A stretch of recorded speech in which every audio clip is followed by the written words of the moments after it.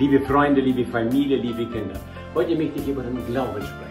Glauben ist etwas Besonderes. Wenn jemand diesen festen Glauben hat an Gott, er kann durch alle Schwierigkeiten durchgehen und sogar ein Sieger sein. Ja, letztendlich in der Ewigkeit mit dem Herrn leben. So schreibt es auch Jakobus. Jakobus war ein besonderer Mensch. Von ihm erzählt man, seine Knie waren wie Kamelknie. Er hat so viel gebetet zu Gott. Man hat zu ihm gesagt, er heißt Zadik, das heißt ein gerechter Mann im Leben. Ja, ganz interessant. Und wie schreibt er eigentlich über den Glauben in den Versuchungen? So beginnt er seinen Brief. Ich lese von Anfang. Jakobus, der Gott und unseren Herrn Jesus Christus dient, grüßt mit diesem Brief das Volk Gottes, das über die ganze Welt zerstreut in der Fremde lebt. Liebe Brüder und Schwestern, betrachtet es als besonderen Grund zur Freude, wenn euer Glaube immer wieder hart auf die Probe gestellt wird. Ihr wisst doch, dass er durch solche Bewährungsproben fest und unerschütterlich wird.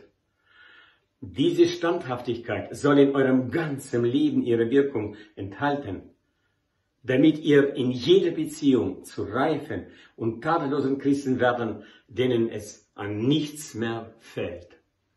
Ja, ganz interessant. Man soll sich freuen, wenn diese Versuche, wenn diese Schwierigkeiten im Leben kommt. Weil er weiß, durch die Schwierigkeit kommt er näher zu Gott.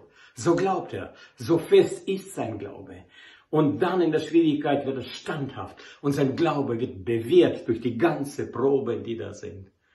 Ja, das ist eine besondere Vollkommenheit, so schon also in die Schwierigkeiten des Lebens gehen, in die Versuchungen, in die Enttäuschungen, in alles, was uns so begegnet. Und dann also durch die standhaft werden und wirklich also diese Beziehung mit dem Herrn Jesus vertiefen und der Glaube wird fest. Was ist eigentlich der Glaube? Einmal sagt Jesus, der Glaube hat dich gerettet. Er spricht es zu dieser Frau, die jenes Mal geheilt wurde.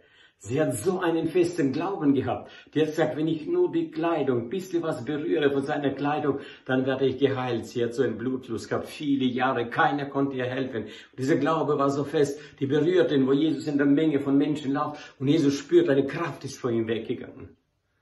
Und dann sagt er ihr im Markus 530, meine Tochter, sagt Jesus zu ihr, dein Glaube hat dich gerettet.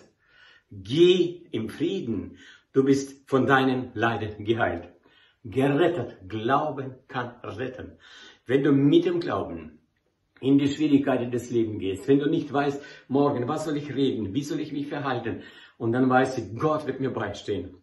Ich schenke ihm mein volles Vertrauen im Glauben. Glaube ist etwas Besonderes, wenn jemand so glauben kann. Er freut sich schon auch auf Schwierigkeiten, auf alles, was im Leben kommt, weil der Friede Gottes beseelt ihn weil er lebt aus dem, dass Jesus mit ihm geht. Dass er mit ihm kann er durch jede Schwierigkeit gehen.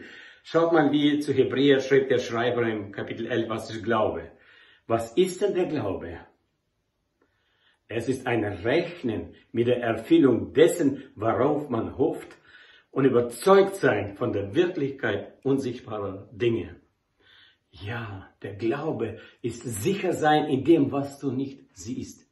Du hoffst auf das, was eigentlich kommt, was Gott versprochen hat in deinem Leben. Du kannst es noch nicht sehen, aber dein Glaube ist so fest, dass der Herr wird dich durchführen durch jede Schwierigkeit des Lebens.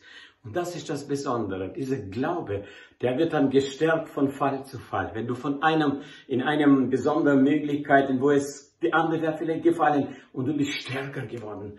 Und du hast erfahren, gerade dort, wo es nicht mehr geht. Und auf einmal gibt der Herr dir eine besondere Kraft. Und so lernst du es von Fall zu Fall mehr und mehr vertrauen Gott. Und dann wächst deine Geduld. Du kannst geduldig sein. Dein Charakter ändert sich. Du wirst jemand sein, der wirklich vollkommen auf Gott glauben, ihm vertrauen kann. Das ist etwas Besonderes. Da spricht der Jakobus sogar, mit Freudigkeit erwartest du diese Schwierigkeit. Ich finde, das ist ein, etwas ganz Besonderes, weil wir haben immer wieder doch, wenn etwas ja kommt auf dich, was du nicht haben willst, dann machst du dir Gedanken, du betest, du, äh, du liest im, in dem Wort Gottes, du sagst noch jemand deinem Nächsten, bete für mich, morgen habe ich diese besondere Schwierigkeit und der Herr steht hierbei. Bei mir war mal so etwas, ich musste ein eine Prüfung ablegen und jenes Mal noch in der Sowjetunion gab es in der Hochschule so eine Prüfung, dass man ablegen muss äh, über den äh, wissenschaftlichen Atheismus. Und ich wusste, wenn ich gefragt werde, direkt glaube ich an Jesus, dann werde ich es sagen. Und das war jenes Mal noch eine Gefahr, dass ich aus der Hochschule rausfliege. Und dann haben wir so einen Hauskreis gehabt, also dort wohnen. Und dann waren nur ältere Leute. Und ich bin aufgestanden und gesagt, betet für mich. Morgen habe ich diese Prüfung. Und ja, dass der Herr wirklich so Weisheit gibt. Ich weiß, wenn es nicht sein, dass ich, dass ich die Hochschule absolviere, dann lasse ich das. Ich werde aber zu meinem Glauben stehen.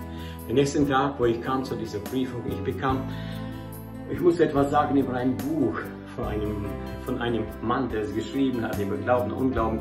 Aber ich wusste, was da stand. Ich habe einfach erzählt, was in diesem Buch steht.